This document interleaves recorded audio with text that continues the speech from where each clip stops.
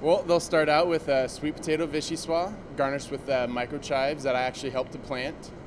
Uh, and then they have a Chilean sea bass with uh, forbidden black rice, globe carrots, and uh, asparagus. And then we have a vegetarian option, of course, because we know we're going to have some vegetarians with the Hollywood crowd. So we have a roasted honey nut squash with a uh, piquillo pepper hummus, and it's stuffed with uh, rainbow Swiss chard, uh, golden raisins, and crispy chickpeas.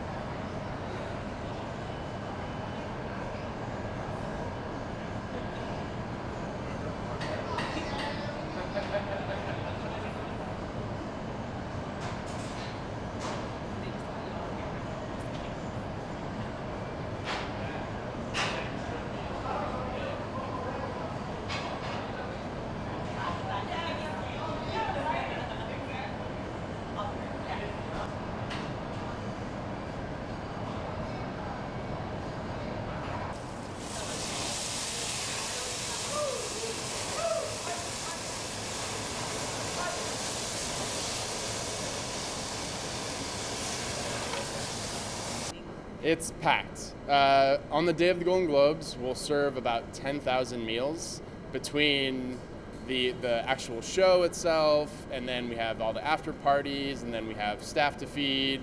So it's a huge endeavor to take on. Uh, and so it'll take, we have 11 different chefs come in.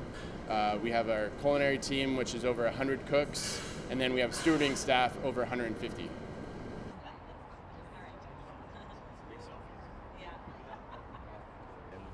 Okay. Cool. And I'm just gonna zoom in and I'll get the dessert. I know. Oh, it's like. Well, we have a pistachio ivory that we're doing, and it's got a flourless chocolate base on the bottom. Then we have a chocolate disc that we created, and on top of the disc is a cream cheese mousse with a pistachio center, and then another chocolate center, uh, chocolate curve that goes on top, and then we have a pistachio cream and a cherry jelly. Wow.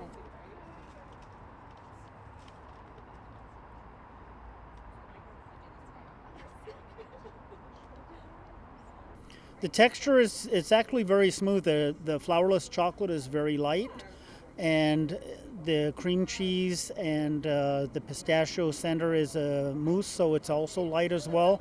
But it gets covered with uh, chocolate glaze. So I've got a lot of different chocolates going on. I've got dark chocolate, milk chocolate, white chocolate, and even I've created a nest looking effect where I pipe strawberry chocolate into ice water and it curdles up and we just sprinkle that around.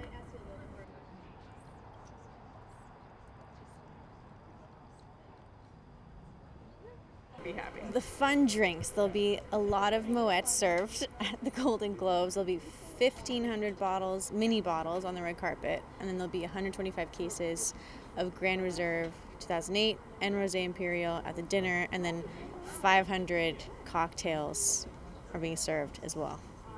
And pick it up. Um, There you go.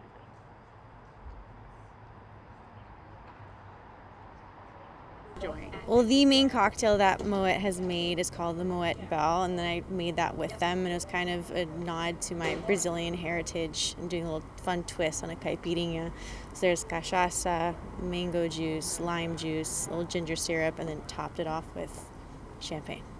Ooh. So Yes. describe the taste. What is what does something like that taste like? Well, it's almost it's kind of tart because the lime in a caipirinha is generally very sour a bit because of the lime, but there's a little sugar in a caipirinha. So in this one, there's no sugar, but there's the ginger syrup, which adds a little bit of a sweetness, and same with the uh, the mango juice. A little bit of little sweet, but not too sweet, and a little tart, and then the champagne.